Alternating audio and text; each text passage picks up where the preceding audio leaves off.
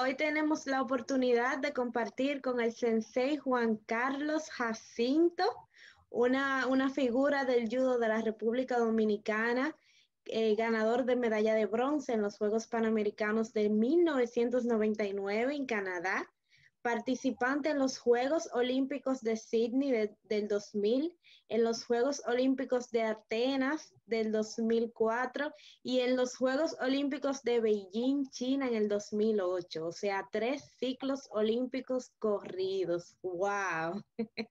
Sense, muchísimas gracias por aceptar la invitación a este conversatorio. Cuénteme cómo está, cómo se siente.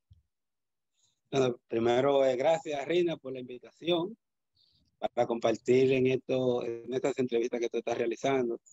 Eh, estoy bien, gracias a Dios, me siento muy bien.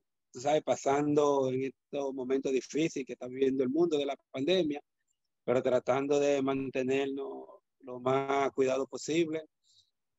Sí. Y después todo Claro, y lo más positivo posible, porque he visto que usted, bueno, su último evento fueron los Juegos Panamericanos, el Campeonato Panamericano de Guadalajara 2020, en noviembre, y usted estuvo ahí con un equipo, una delegación dominicana, tanto juvenil, eh, cadete como senior y junior. Cuénteme sobre ese evento, cómo se sintió, qué tal estuvo.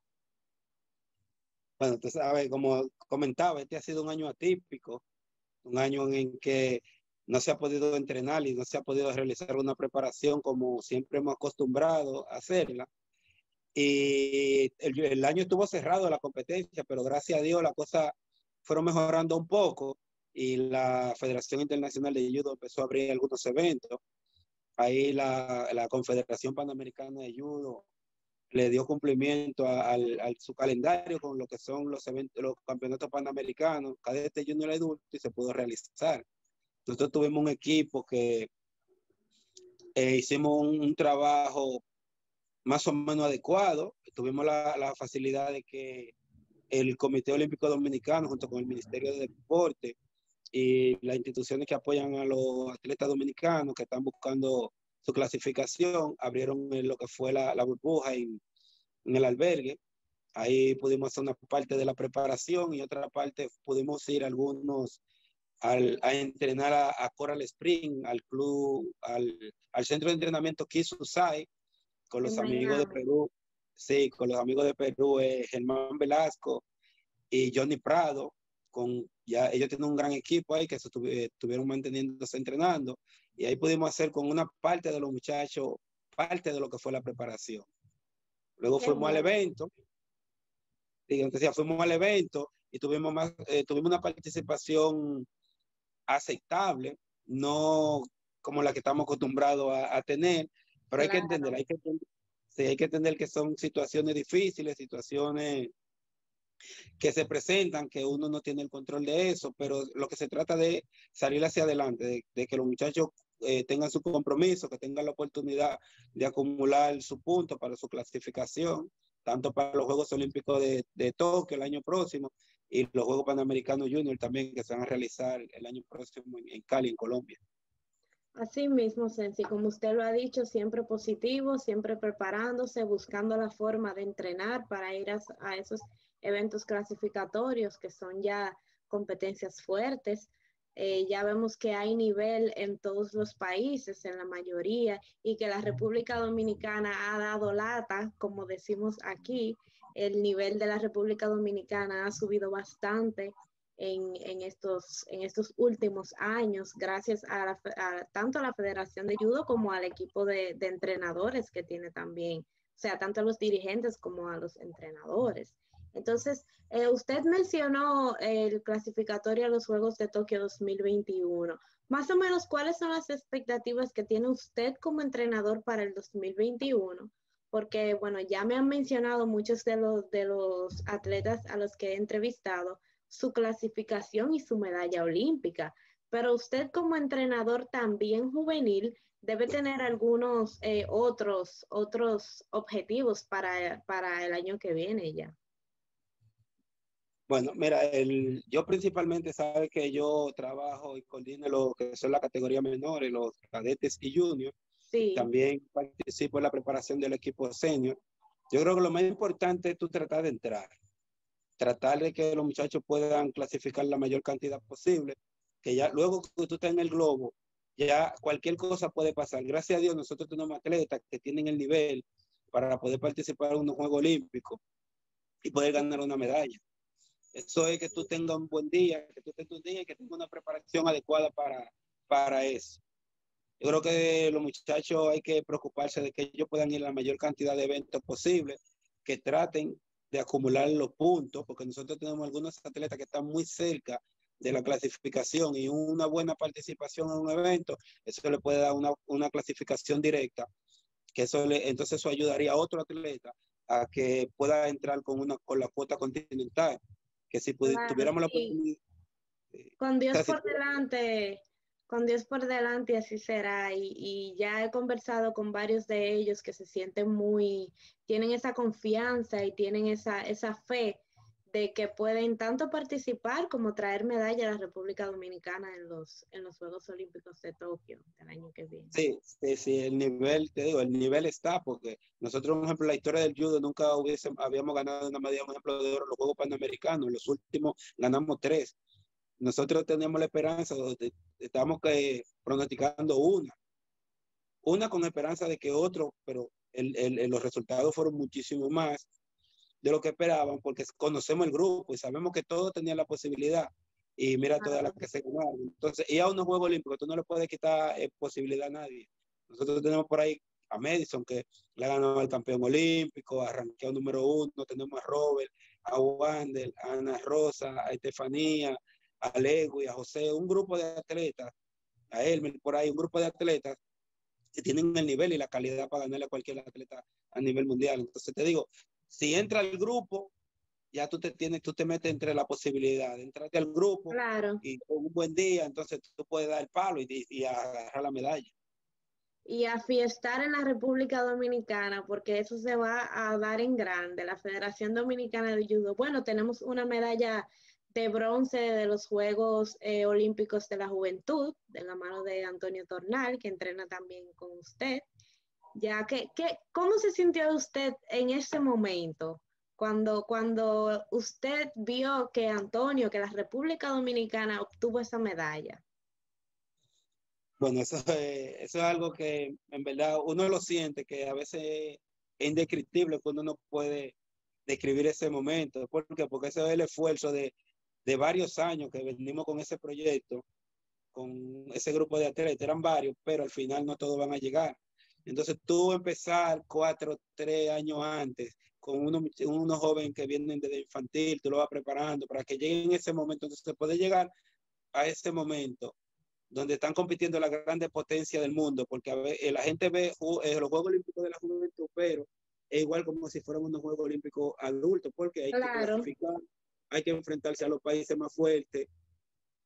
Y, y normalmente a los atletas juveniles no se le tiene la, el mismo apoyo que tiene un adulto. Gracias a Dios tenemos una, una federación que nos apoya 100% y Antonio, que es del Club también que apoyó esa preparación 100%. Entonces tú llegar ahí, muchas veces no te dan ni siquiera posibilidad de que, de, ah, de República Dominicana, te ven y dicen, bueno, ellos más o menos son buenos, pero a lo mejor pasa una ronda. Pero Vamos a ver qué pasa con los dominicanos. Sí, pero no, Pero ya- no, yo, yo te digo, yo, yo tenía, o sea, yo tenía mi pálpito con él, yo sabía, yo dije, él está en su mejor momento, Antonio Termal me refiero, está en su mejor momento ahora mismo, ya tuvo, tuvimos un circuito clasificatorio prácticamente perfecto, donde él ganó todos los eventos, tuvimos la preparación que se necesitaba para eso y solamente era ir al lugar y, como te digo, estar en el grupo, ir al lugar y trabajar, y gracias a Dios él trabajó muy bien y ahí tu, estuvo el resultado, algo que nos preparamos, nos fajamos y trabajamos para eso. Claro, o sea que el futuro del judo de la República Dominicana de la mano de usted como entrenador, los demás entrenadores y la Federación Dominicana de Judo está en buenas manos. Y como estuve hablando con, con, con los pasados eh, atletas que ya entrevisté, hablé con Wander, Wander me dijo, mira, el futuro del judo de la República Dominicana yo lo veo excelente, porque es que los jóvenes que van subiendo desde ahora están teniendo unos resultados que, que imagínate, y el mismo grupo ahora que usted me menciona que están casi clasificando los Juegos Olímpicos, es algo también increíble, que cada vez estamos más y más para arriba, que la República Dominicana hay que verla ya. Como usted mencionaba, las potencias del mundo, pero ya la República Dominicana en judo eh, eh, se menciona, tiene, los, tiene sus nombres. Sí, ya, ya nos toman, nos toman bastante en cuenta. Gracias a Dios, eso fue un proceso que eso no viene de la noche a la mañana, sino eso fue algo que vino progresando lentamente y hoy eso se ha fincado bien. Ya el atleta dominicano de judo va a cualquier evento y tiene posibilidades. Ya nosotros no vamos a los eventos de que a participar y que vamos al campeonato mundial a participar. No, nosotros vamos a los eventos eh, a buscar ya directamente un, resultado. y gracias a Dios tenemos los atletas ahí y tenemos los que vienen, los que son los sustitutos que vienen. Hay que trabajar, porque recuerden que no solamente tú tener los atletas que tengan la condición, hay que trabajar con esos atletas, hay que prepararlos, hay que tomar el compromiso para eso y que ellos también hacen el, el compromiso, porque no solamente con tener el talento se llega, sino hay que trabajar para eso. Y qué mejor ejemplo que usted para decirlo, que fue un atleta que tuvo tres ciclos olímpicos, que es que tuvo medalla de bronce en los Juegos Panamericanos. Entonces, vamos a darle un poco para atrás a la cinta, vamos un poco para atrás en el tiempo y vamos a hablar sobre sus inicios en el judo sensei. ¿Dónde, cuándo y cómo se da eso? ¿Cómo llega Juan Carlos Jacinto al judo? Bueno, mira, yo soy de San Cristóbal, de un sector se llama Lavapiés, aquí. Yo comienzo el judo. Sí, ese, es un barrio así, se llama Lavapiés. Esa es una historia que hay que contarla después. Yo empiezo el judo, yo en, la escuela donde estaba, en la escuela primaria, estaba con un compañerito en el, en el curso y él tenía una hermana que practicaba judo y él, la hermana lo empezó a llevar a él y él iba, íbamos a la escuela y él se ponía de que a enseñarnos lo que él aprendió en la, práctica. Y yo le decía, por eso yo lo hago bien, yo también. Y un día me dijo, ¿tú quieres ir? Y yo le dije, sí, vamos. Entonces él, otro, otro compañero también, fuimos y la hermana nos llevó y ahí comenzamos a practicar judo. Yo soy del club aquí en San Cristóbal del club, se llama Felipe Santiago Castillo Mato, Fesacama, que el sensei es el sensei Felipe Mormán.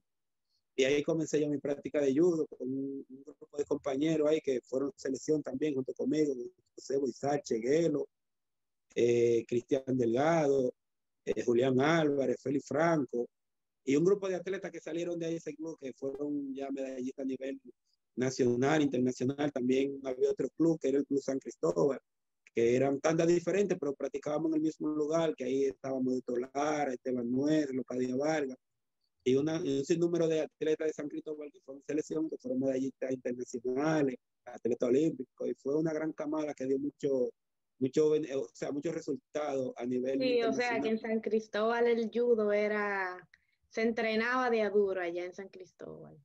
Sí, teníamos, nosotros teníamos un buen equipo, teníamos un equipo que éramos, en ese tiempo estábamos en primer lugar a nivel nacional y, y se entrenaba, se entrenaba, había muchos atletas, gracias.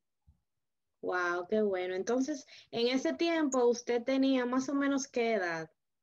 Yo comencé a los 11 años. A los 11 años. ¿Y a qué edad entonces llegó usted a la selección eh, dominicana de judo?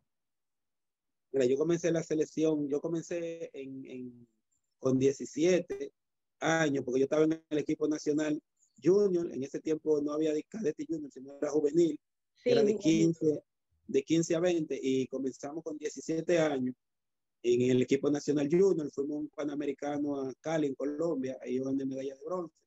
Y ese mismo, ese mismo año hice el equipo nacional adulto y participé en el campeonato panamericano en Guadalajara. Pues, mira, recurrentemente que estuvimos sí, qué coincidencia. Ahí no, no gané medalla en Guadalajara y luego participé en el, en el USA Open, que era un evento a nivel, que era un evento muy fuerte que hacían en Colorado Springs, en Estados Unidos, cuando nosotros tuvimos, teníamos mucha participación y, solamente habíamos ganado una medalla de bronce en toda la historia. Y yo participé ese año y gané medalla de oro, fue el primero, oye, el único creo yo que... yo me imagino, me imagino cómo usted se sintió en ese momento.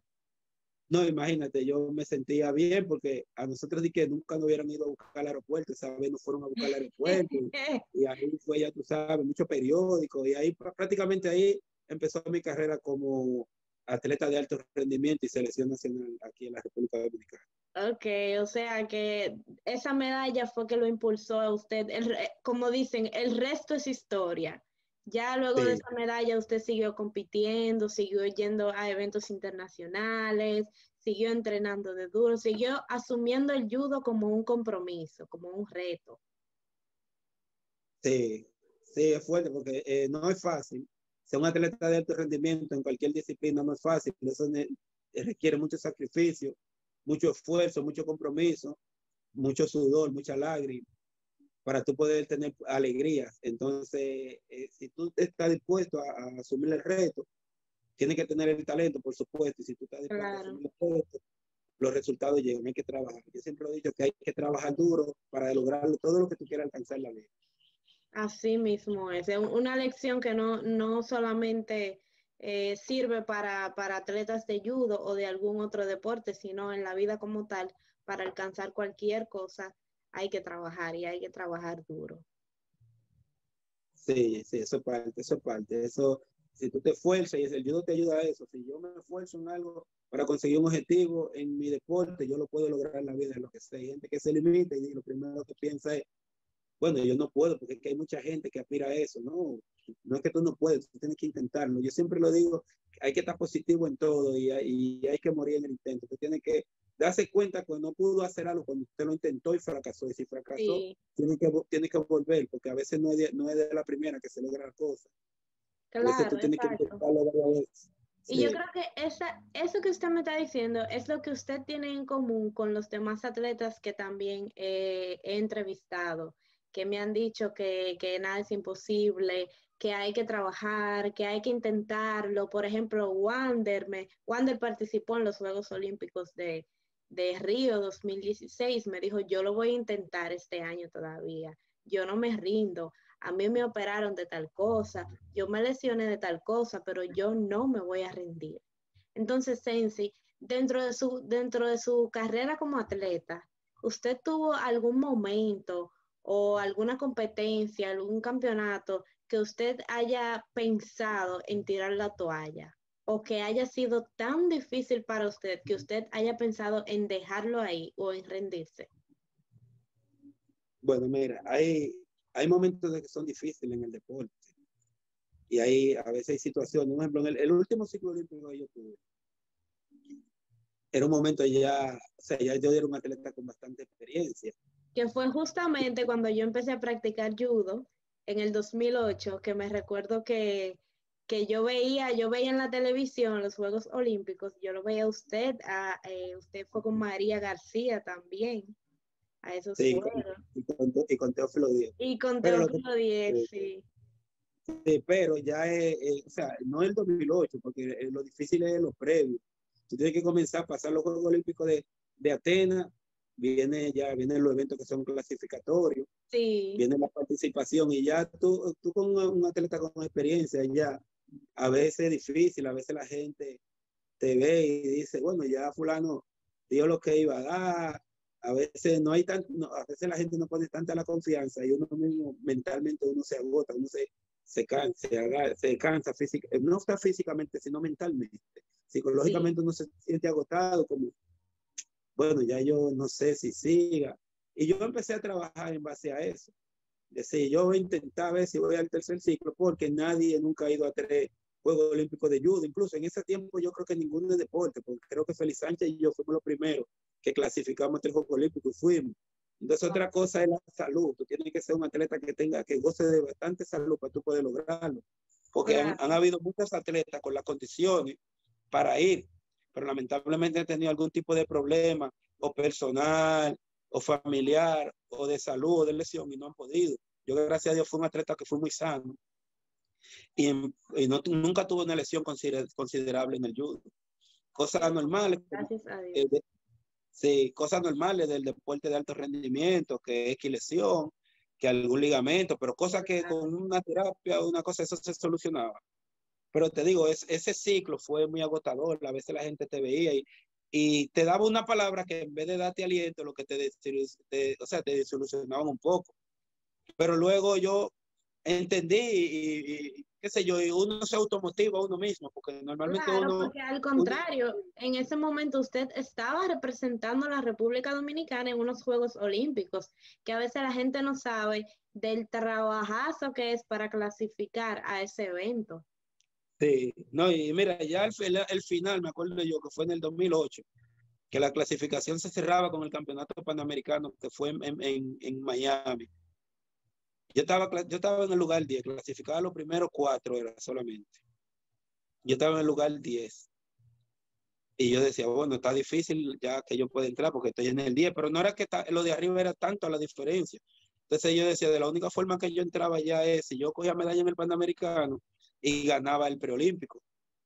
Y ahí así fue. Yo, entonces yo me preparé, ya yo estaba mentalmente puesto. Yo venía de Río, de los Juegos Panamericanos de Río, que había tenido una participación prácticamente buena, pero fue sin medalla. Yo quedé quinto. Yo fui a la semifinal, perdí la semifinal y luego perdí el bronce. Y porque era 66 kilogramos, era un peso que era muy, muy difícil, porque había mucha gente de muy alto nivel, incluso estaba el que era el campeón mundial y el subcampeón mundial en el peso, que era todavía los 66 kilogramos una, una, una división, una, división difícil. sí. Sí, pero en, ese momento, o sea, tú tenías ahí mismo reciente del 2007 el campeón mundial que era Joe de Brasil y el subcampeón mundial que era eh, Jordania Recibia de Cuba en tu peso ahí mismo que tú tenías que eh, competir con ellos en el área todo el tiempo eso por un lado te, limitaba porque a veces no te dejaba ganar el oro en el evento o ir a las finales, pero también te ayudaba porque te ayudaba a subir el nivel porque tú estabas entrenando y compitiendo con el más alto nivel que había en el mundo. Claro, y ayudaba a conocerlo a ellos también de manera competitiva. Sí, entonces yo fui al Panamericano, gracias a Dios, trabajé bien, cogí medalla, cogí bronce, ahí yo fui a la semifinal con Arrencibia, que oye, que nunca le pude ganar a Arrencibia, peleamos cuatro veces, cuatro, eh, no, tres finales y, un, y esa semifinal y final de los Juegos Panamericanos y me ganó las cuatro veces, pero después yo gané la medalla de bronce, ahí subí y después gané el preolímpico. Y, y del preolímpico pasé del lugar 10 al lugar 7 y entré entre los cuatro primeros y ahí clasifiqué. Ahí como que me quité un peso de encima, wow. Ya gracias a Dios clasifiqué, ya, ya yo dije, y ya no tenía presión, me acuerdo yo que ese año 2008 fue un año que no tenía ningún tipo de presión, estaba relajado, y de que sea lo que Dios quiera, porque ya yo estoy pago, como dice, yo estoy pago en esto, yo no le dejo nada a nadie en esto de Sí, porque así como usted me mencionaba anteriormente, que la meta ahora mismo es que vaya la mayor cantidad de atletas posible a los Juegos Olímpicos, así me imagino que usted lo que quería en ese momento era estar en la tómbola, ir a los Juegos, ya clasificar. Sí, sí, porque te digo, eh, eh tú entrar es, es, bastante difícil. Entrarle, entrarle muy difícil y luego que tú estás ahí adentro, ya cualquier cosa puede pasar. Y te digo, yo me sentía, ya yo me sentía bien. Nosotros fuimos, me acuerdo yo, nosotros fuimos a una base de entrenamiento en Japón, que duramos un mes entrenando allá en, en, la universidad, una universidad de Fuji, que nos consiguió, eso fue vía la federación, con una ayuda que nos dio el profesor eh, Yamasita, que era de la UA, que en paz descansa, una persona muy, muy amiga, muy amiga del judo dominicano, nos ayudó y allá nosotros trabajamos bien en Japón. Yo me acuerdo, yo topaba en Japón, hacíamos competencia. Yo nunca perdí en Japón allá. Y me sentía, yo, oye, yo tenía, yo nunca, yo en mi carrera pocas veces me, me, había sentido como me sentí ese año. Pero lamentablemente no, no me fue bien en el sorteo de los Juegos Olímpicos. Me salió con, con Masato Shichiba, que era el japonés, que era el campeón reinante y era el favorito para ganar. Y perdí ahí en la primera con la él. La primera, sí, porque esa es otra cosa que tiene el judo la, el, la forma, el, la, la, organización de los combates de una división se sortea y es al azar. Entonces, cualquier cosa puede pasar. O sea, ahí no se toma en cuenta que, ah, fulano tiene menor nivel, vamos a ponerlo con fulano. No, eso se sortea al azar. Sí, ahora mira, ahora ha cambiado el sistema un poco, porque ahora se hace por una siembra de acuerdo al ranking, el ranking mundial. Sí. Antes, antes era al azar, que tú te podías eh, salir. En los Juegos Olímpicos es difícil que tú digas, me sale con, con, con fulano y, y, voy más suave. No, ahí porque fácil, no te puede ser el brasileño, pero te sale un ruso, te sale un francés, te sale un kazajo, un ubeco, un coreano Y ahí es difícil. Tú tienes que estar preparado. Si tú quieres llegar en algo a los Juegos Olímpicos, tienes que estar preparado para ganarle a cualquiera. Pero a veces no es lo mismo que tú avances uno o dos rondas, ya tu, tu, motivación es diferente. Claro, claro, está diferente. Entonces, Pero eso, sí, perdón. que, te iba a decir, que iba a decir que eso, o sea, que eso no es excusa. Tú ahí te sale el campeón, tienes que tirarlo todo. Y lamentablemente me salió y perdí. Y ya yo no me sentí, no me sentí mal, en verdad, porque yo sentí que como a veces uno sabe que uno pierde, pero que uno sintió que uno hizo lo, que uno pudo. el trabajo. Sí, no fue un combate, en verdad, que tampoco fue un combate fácil, fue un combate que nos fuimos profundo y que yo cometí, o sea, no un error, sino de algo que yo me preparé para eso. El tipo tenía mucho nivel y me, me hizo eso de una forma diferente. Y, y ahí me ganó. Pero fue algo en verdad que yo salí conforme porque yo entendí que fue un combate que yo di lo más que yo tenía, que más de ahí no podía dar. Qué bien, qué bien. Entonces, le iba a preguntar, le estaba preguntando que, que luego de eso ya usted eh, se retira como, como competidor y pasa a ser entrenador. ¿Cómo fue esa, cómo se dio esa transición de atleta competidor a entonces entrenador eh, juvenil? Bueno, mira, la, transición para mí de atleta a entrenador no fue muy difícil porque yo prácticamente llevé una carrera paralela entre ser atleta de alto rendimiento y ser entrenador porque yo soy entrenador en el club de Yudonaco de hace 21 años. Incluso yo comencé la selección nacional en el año 97 y en el año 98 yo empecé a dar clases en el club Naco, pero no con niños, sino allá ayudo de base. Y la didáctica, o sea, la didáctica de enseñar para mí no es muy difícil. Yo también estudié, yo me hice profesor en la universidad, licenciado en mención educación física, y también tengo metodología de, cómo enseñar, pero más la experiencia. A veces no es, no es la parte, eh, la parte académica es importante porque eso es lo que te da la base para tú saber lo que estás enseñando, pero la experiencia de tú hacerlo en vivo es lo que más es una de las cosas que más te ayuda. Entonces, ya yo tengo esa experiencia trabajado con atletas, o trabajo en, el Club NACO con atletas infantiles, preinfantiles, juveniles y con adultos también.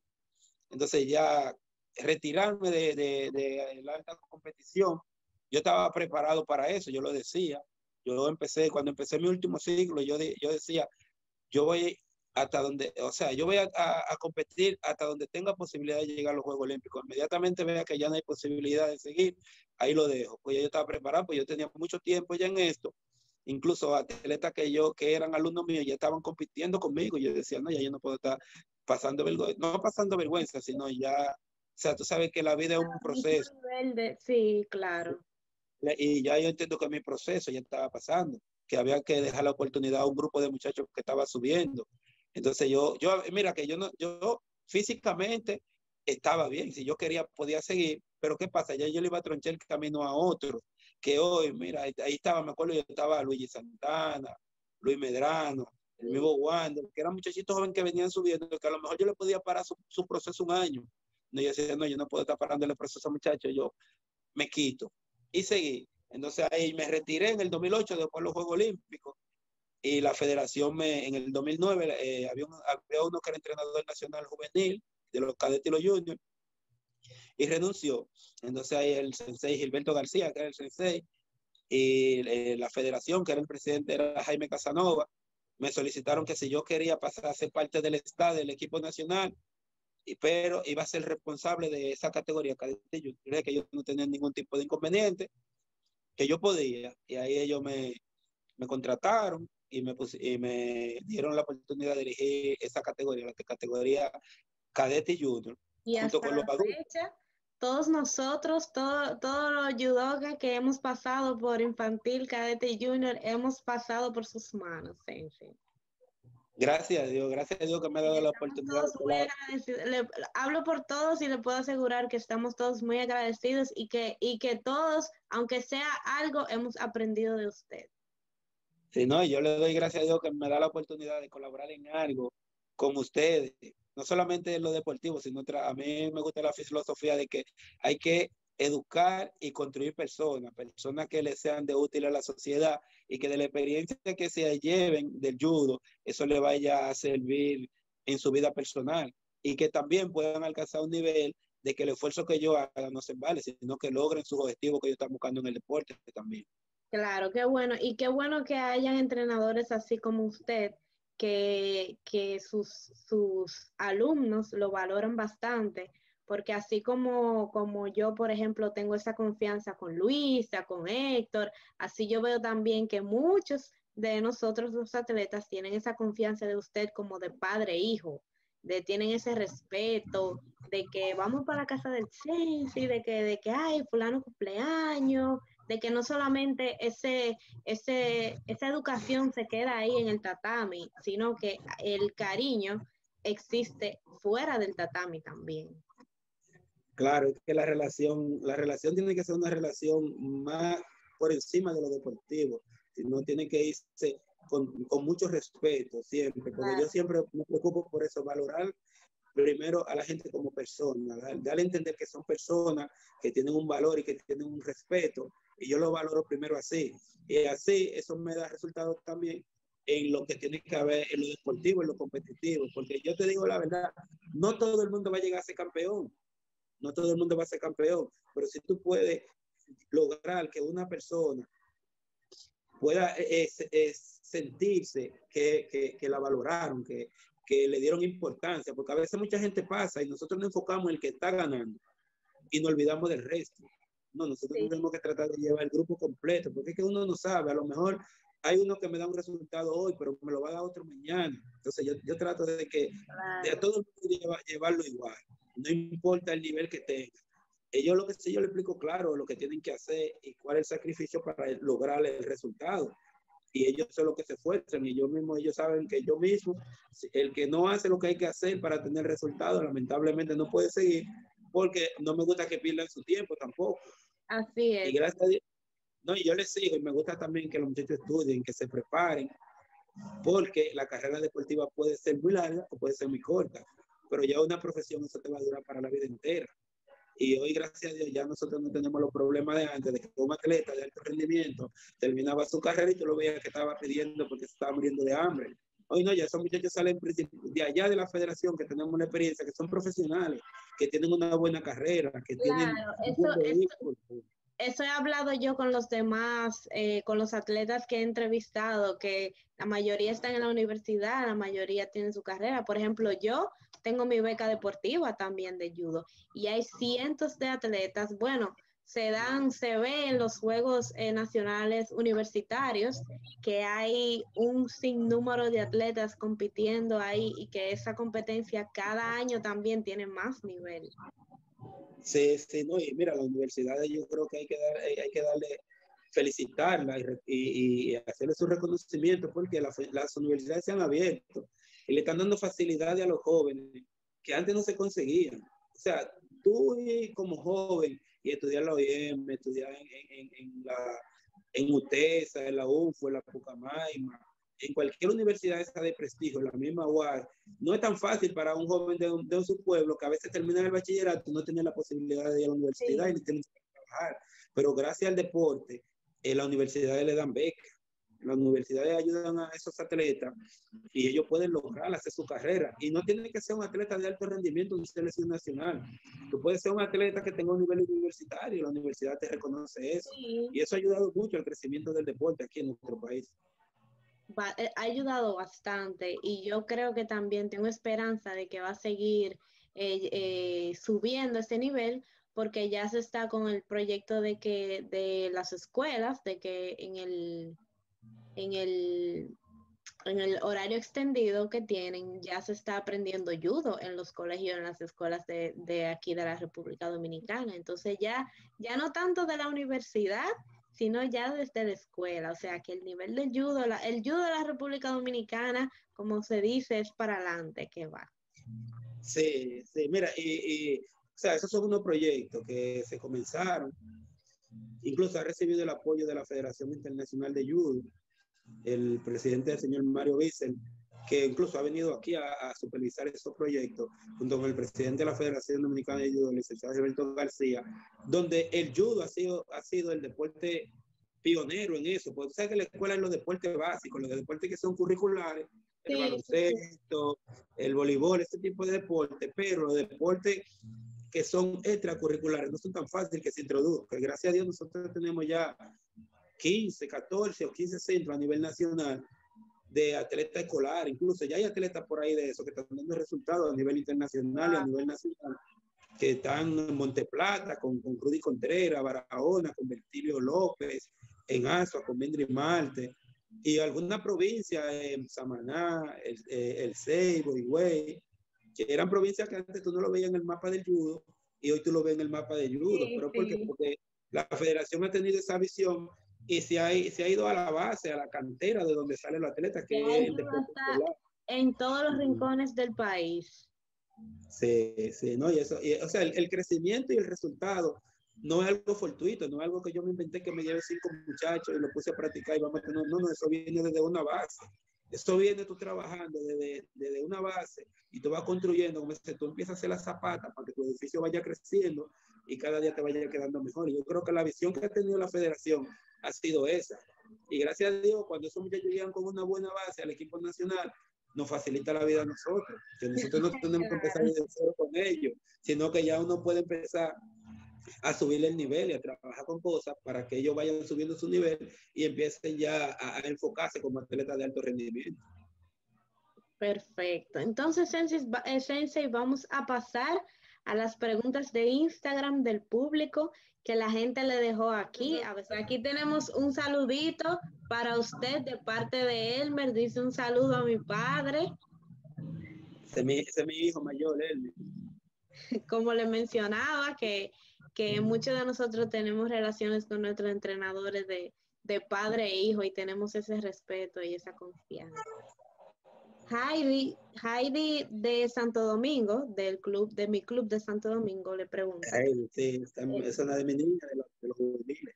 Sí, durante toda su carrera deportiva, ¿cuál fue su momento más difícil? Bueno, ya hablamos de, de, los Juegos Olímpicos del 2008, pero si usted quiere mencionar algún otro momento, algún recuerdo que tenga. No, mira, mi momento más difícil más frustración fue los Juegos Panamericanos Santo Domingo 2003 donde yo estaba en uno de mis mejores momentos competitivos. Venía de venir de ser subcampeón panamericano en Salvador de Bahía, en, en, Brasil, y no gané medalla en los juegos. Así, mi semifinal, perdí el, la semifinal, después perdí el bronce, y eso para mí fue una parte de la más frustrante que yo he tenido en, mi vida deportiva. ¿Sabes? Porque estábamos en nuestro país, todo el mundo estaba esperando esa medalla, yo era de los favoritos para ganar medalla y lamentablemente me fui sin medalla y eso me frustró bastante y sin embargo se, levantó, se, cayó en ese momento, pero se levantó de ahí y siguió compitiendo y siguió ganando eventos. Sí, porque la vida, el deporte es así, en la vida hay tropezones, pero si tú te caes, te quedas en el suelo, te pasan por encima, hay que levantarse y seguir hacia adelante. Así mismo. Le pregunta a Robertico también, Robertico desde, desde San Juan, hasta el momento, ¿cuál ha sido su mayor alegría como entrenador? Bueno, mira, eh, como entrenador uno tiene muchas alegrías, porque a veces la gente no entiende que no es solamente ganar una medalla, de que el muchacho vaya y gane una medalla, sino a veces tú darle la oportunidad a una persona eh, de incluirla aunque sea en algo, porque no todo el mundo llega al deporte buscando los mismos objetivos. A veces tú dale la oportunidad, qué sé yo, ponte a una, persona especial de que pueda practicar un día, de que lo haga y que vea una forma de, de en eso. Eso a mí me da mucha alegría en lo competitivo también he tenido mucha alegría, muchos resultados buenos, importantes. O sea, que he visto muchachos de lo que han pasado por mi mano que han, que han tenido, el mismo Robert, que tuvimos un proyecto y que hablamos del principio, que, que íbamos a enfocar una medalla mundial. Estoy hablando con él con 14 años y fue al mundial y ganó una medalla de plata. Entonces, a veces te dices, wow, man, mira, eh, o sea, y me sentí tan muy feliz, no tanto por mí, porque a veces yo no me siento tan feliz por mí, sino por los muchachos, por lo que logran. Antonio, Ana, Elmer, Wandel, ese grupo, cada vez que yo veo que uno muchacho de Sogan tiene un resultado, ustedes no se imaginan la felicidad que eso a mí me da, pero cada vez que un muchacho de, de eso, un atleta dominicano tiene un resultado, para mí esos son de los momentos más felices que yo tengo. Qué bueno, y qué, y qué, qué bien se siente escuchar de usted también que, que, no solamente los resultados suyos le alegran, sino los resultados de los demás, de los de los atletas, de los muchachos, hasta de los niños. Sí, sí, no, o sea, el tú ve hacer, a, colaborar a que alguien sea feliz, eso, esa es la mayor alegría que uno puede tener. Sí. En este momento usted está colaborando conmigo, déjeme decirle, porque yo, como, como, como dije anteriormente, me lancé en Instagram y estoy combinando mi pasión de, con la comunicación y mi pasión con el deporte, la estoy combinando y estoy haciendo estas entrevistas, estoy comenzando con los atletas destacados en judo, con usted como ah, entrenador, a entrevistar más personalidades, así que usted eh, le doy las gracias nuevamente por aceptar mi invitación. No, imagínate cómo yo me siento feliz contigo, porque yo te vi de que tú eras pequeñita, me acuerdo yo que siempre ganaba en, en, la pesadita, los más de 52 era los 52. Sí, la gordita, sí, más de 52. Y tu, y tu hermana, creo que era otra hermana que tú tenías que venía de allá. también. Con, Luis, y como que entonces, ya vete hoy así, ya una mujer eh, preparada, graduada de la universidad, con la capacidad que, ustedes, que tú tienes, lo que has logrado, Imagínate, uno dice, wow, es para que tú veas cómo son las cosas. No ve los, niños pequeños y, mira cómo llegan. Entonces, eso te digo, cada vez que uno tiene la oportunidad de colaborar en algo para eso, uno se siente feliz con eso. Sí, muchas gracias. Sí, sí. La última pregunta es de Coral, de mi club de Santo Domingo también. Un saludo, un abrazo para Coral. Le pregunta qué se siente ir a tres Olimpiadas. Bueno, imagínate, ir a una sola eso es lo más grande, porque cuando tú estás ahí adentro, o sea, el momento más grande que tú puedes tener en el deporte, que todo el atleta sueña con eso, tú ya los Juegos Olímpicos, tú estás en la inauguración de los Juegos Olímpicos, tú ves el, mundo, sí, el mundo entero está ahí porque el mundo te está, te está mirando. Y, y, entonces, el sueño de cualquier atleta es, ir a unos Juegos Olímpicos. Luego tratar de ganar una medalla, pero ir a tres es una gran satisfacción porque, como te decía ahorita, eh, muchas gracias a Dios que hay que darle, porque hay que, tú tienes que tener salud, tú tienes que tener nivel competitivo, tú tienes que tener mucho talento, tú tienes que conjugar una serie de factores para poder lograr eso. Y yo tener la satisfacción de ser el, único atleta dominicano, que espero que me pasen gente y que vayan cuatro a cinco, que Dios le dé la salud, pero tú tener la satisfacción de haber ido a tres, eso es algo que en verdad, como te explico, es difícil de describir, eso tú lo sientes y cualquier atleta que tenga la oportunidad de, ir a uno solo es una satisfacción que, que, o sea, que solamente uno mismo se lo puede imaginar, pero ir a los Juegos Olímpicos es, de las cosas más grandes que a mí me ha pasado en la vida. Y son recuerdos que se van a quedar con usted para siempre, así que eso es lo que vale. Le agradezco muchísimo su tiempo, le agradezco mucho que haya aceptado mi invitación. Les deseo todas las bendiciones del mundo, tanto para usted como el equipo eh, dominicano de judo que usted eh, va, va, entrenando, va liderando, que se, que se den todos esos, todos esos planes que usted eh, tiene en mente, todos esos muchachos. Y qué más decirles, Sensi, feliz Navidad. Ah, muchas gracias, Rina, por tomarme en cuenta por considerarle que yo puedo aportar algo en tu proyecto. Te deseo mucho éxito en este proyecto que tú estás realizando, mucho éxito en tu vida y que sigas así, que te mantengas siempre así como tú siempre has sido. Así que gracias por tomarme en cuenta. Igual, muchas muchas felicidades para ti, muchas felicidades para la familia del judo eh, nacional e internacional y muchas felicidades para cada una de las personas que nos siguen a través de estas redes y que siempre están pendientes a nosotros. Muchas gracias, Sensi. Nos vemos en la próxima. Bye bye. Bye, cuídense.